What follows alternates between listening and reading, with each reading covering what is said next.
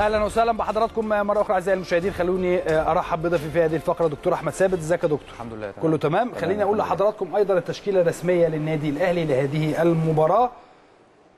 وبعض خليني اقولها لحضراتكم محمد الشناوي في حراسه المرمى محمد هاني باك يمين علي معلول باك شمال محمود متولي ورامي ربيعه اثنين قلوب دفاع ثم أليو ديانج وعمرو السولية اثنين في وسط الملعب و أحمد الشيخ ناحية اليمين جيرالدو ناحية الشمال محمد مجدي قفشة ومن أمامه جونيور أجاي دي التشكيله الرئيسية للنادي الأهلي لهذه المباراة.